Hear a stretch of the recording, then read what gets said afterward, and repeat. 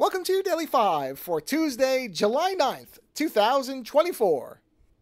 I don't know if you could tell when I was uh, doing the, the intro that I was smiling, which I am still, because this has to be one of the most galaxy brain defenses of a bad movie I've heard in quite a while. And it's in regards to, what was it, last year's? Or was it this year? When did Madame, Madame Web was, either, whatever, whatever year it was from whichever. When it came out, it bombed, rightly so.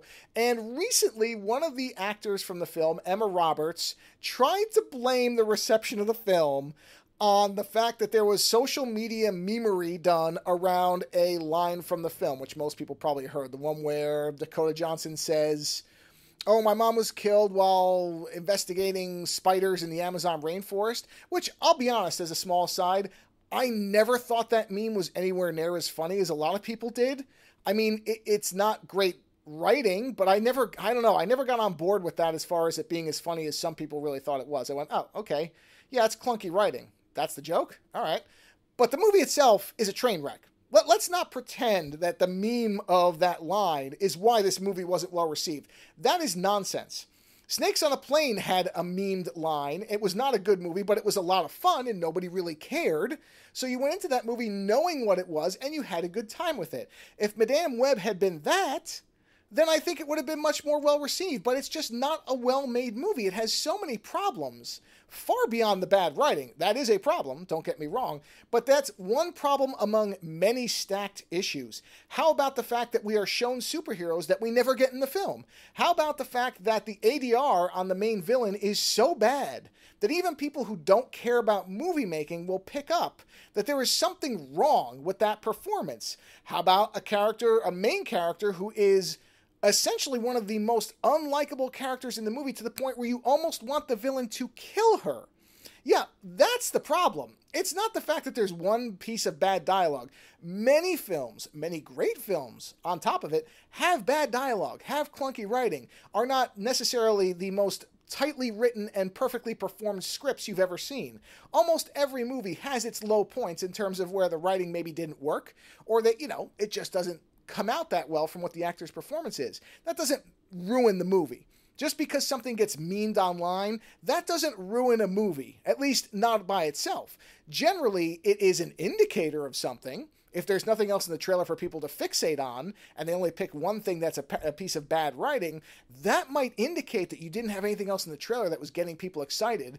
Also, the fact that this is one of the more bizarre characters to try to build a film around, a, a character who is fundamentally a secondary or tertiary character, but certainly far in the background, to try to structure your film around that.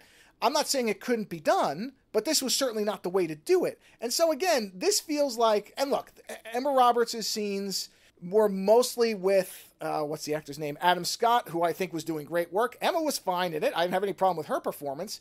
Uh, so maybe in what she experienced, the film was good because she was working with some of the people who were doing better work and had some of the better writing and, and scenes. That is possible. But I don't think any objective individual can look at this film and say, yes, we made a really good movie that works very well for audiences who aren't somehow already endeared to this character. And that audience has to be tremendously small. I don't know a lot of people who are Madame Web fans. Look, I'm a big fan of the X Men character Maggott, which I know you couldn't build a film around, and I think that's probably a bigger fan base than Madame Web, I'm pretty sure. But I would certainly never pitch a film based around the Maggott character because I don't think most people would ever care, and you certainly couldn't ground a film around him but I think he's a great character because he's so weird. Still, I wouldn't expect to go into a Maggott film. And actually, I would expect it to perform about as well as Madame Web. I would say if they ever make a Maggott film, I'm would reason, especially if it's Sony, I would guess it'll perform about as well as this one. So this is I mean, look, it's all marketing, it's all positioning. Uh, maybe Emma Roberts is trying to keep good, you know, good relations with Sony or people involved in the film. So I know there's a whole secondary angle of this thing. But the idea that Madame Web did not perform well and was not well received because the internet took one piece of clunky dialogue among many pieces and memed it. No, I'm sorry. You you can try to get away with a lot of things and people might buy it, but this is not going to be one of them. The reason Madame Web wasn't well received, the reason a lot of people didn't like it is because it wasn't a well-made film. It's as simple as that. Let's not pretend anything otherwise. Later.